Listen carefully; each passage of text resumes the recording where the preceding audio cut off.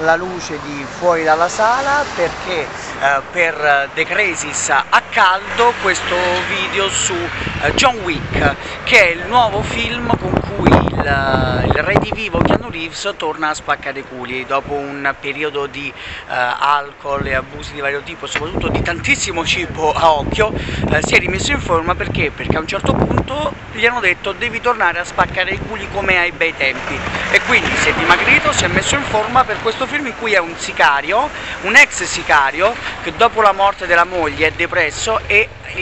l'imbecille figlio del suo ex capo dice ma sai che quasi quasi gli rubo la macchina e gli ammazzo il cane? E da quel momento un'ora e 40 di spaccamento di culi. Detto questo, detto che appunto la sceneggiatura non è proprio il forte di questo film, non solo nello spunto iniziale ma anche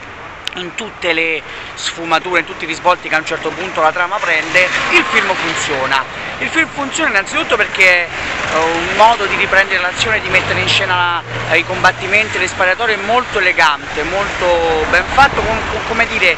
aggrada sia chi vuole la violenza, sia chi vuole la, la potenza dell'azione, ma sia chi vuole anche la, una certa cura nella messa in scena. Ma a parte questo,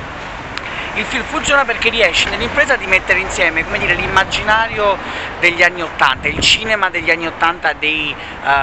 degli Stallone, degli Schwarzenegger, uh, di, anche di Steven Seagal in un certo senso, dove c'era un pretesto per cui a un certo punto il protagonista dovesse fare il più casino possibile. Mettere questa linearità, questo semplicismo potremmo dire, metterlo in, uh, in parallelo invece con uh, una sorta di iperrealismo da videogioco. Ecco, non so se è tratto effettivamente da un videogioco John Wick, ma sembra, sembra perché come dire, il, il mondo che crea, eh, la, il fatto, come dire, sono delle trovate, per esempio c'è questo hotel dove si svolge gran parte dell'azione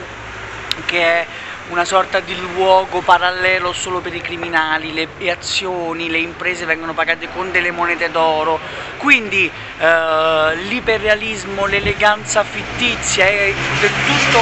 fredda del videogioco con il semplicismo, con il pragmatismo quasi degli anni Ottanta. Ecco, ci riesce, funziona, c'è il ritmo e c'è lo spettacolo. Ci sono anche delle sbavature, poteva venirne fuori un film molto più concreto, molto più compatto, però voglio dire, dopo che Keanu Reeves ha fatto le porcate che ha fatto non ci lamenteremo, no?